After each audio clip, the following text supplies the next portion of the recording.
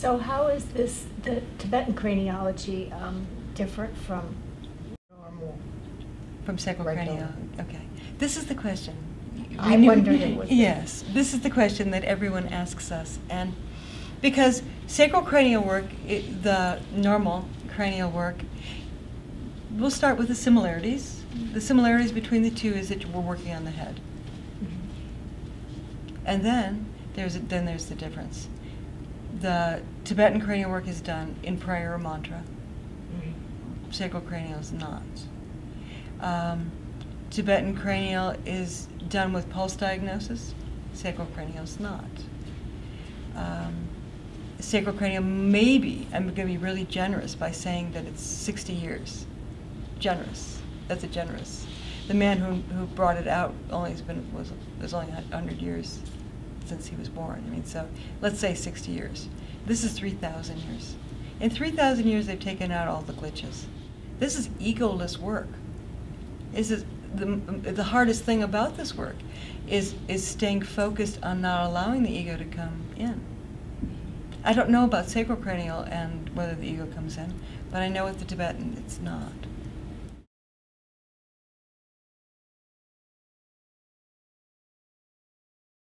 We're constantly taking their pulses. Every five, six, ten movements, we're coming back to see what's changed. And the pulses tell us what movement to make, not some pre designed. This work is not formulated, it's an oral tradition, there's nothing written about it, which means that we can't demote the person to less than what they already are. You know, we don't have a formula. You never do the same person twice, nor the same thing twice for that person, because they're changed. By the time they've had one session, by the time the next session happens, they're different, they're transformed. And the work works on many levels, not only physical, spiritual, but definitely emotional. It rebalances internal organs. It works on the fluid side of the body. We are mostly water.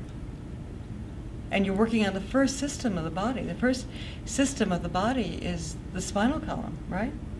The brain and the spine, aren't they the first things that we are? And that's what system we're working with. We're working with fluidness. so we're seeing a person in their fluid energy. The other thing about the work is you get really high, incredibly high, incredibly high. Your senses get heightened. I had an accident, um, I was in Europe and I had an accident my husband dropped a 50 pound suitcase on my head. We're in a train, the train's not moving, he drops a suitcase on my head. I had, I had to actually wear my hair differently because I had, my side of my head was sticking out so far. Luckily, I was meeting up with some of my apprentices and they worked on me a little bit. Just enough to kind of get me somewhat together. But Heidi worked on me when I came back and Heidi's working on me and I'm, I get up from the table and I'm going, is that new? Is that new? And I am loaded. I am so high. She's going, you are blazing. and I was. I was just as high as could possibly be because I was back to my to myself again, to my own frequency. And when you meet your own frequency, you get incredibly high. When you've been in, into it with someone who sees God in you, your body just flies. So I know from experience uh, how that feels. So traditionally the work is done on a hard surface, a board. It's done on wood. We don't work on metal and we don't work on soft surfaces. We, the person needs know support. This does not make most people really happy, but it doesn't feel, after you're on it, you can't really tell that you're on a hard surface. Cerebral spinal fluid does increase during the time that we work. Mm-hmm. They get more cerebral spinal fluid, and that's, I think, where they get that incredible euphoria. It is quite amazing. I mean, anyone who's an apprentice or a practitioner in this room will tell you, they're all like, they go back to that, like almost a flashback. Oh, yes, we know what that feels like.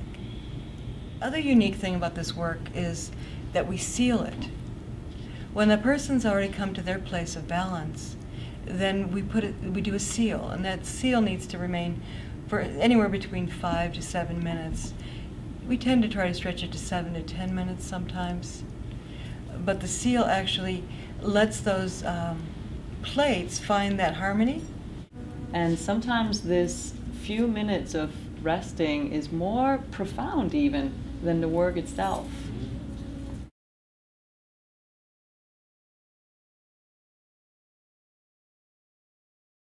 Traditionally, it's done five to seven consecutive days. Traditionally. Uh, but in, in our society, people come in, in a little different pace. Some people, they need th- three times and they're going to see it one, some people one time. Some people, some people years. I have my autistic children that I'm working with, and we have a lot of autistic children. They're all functional.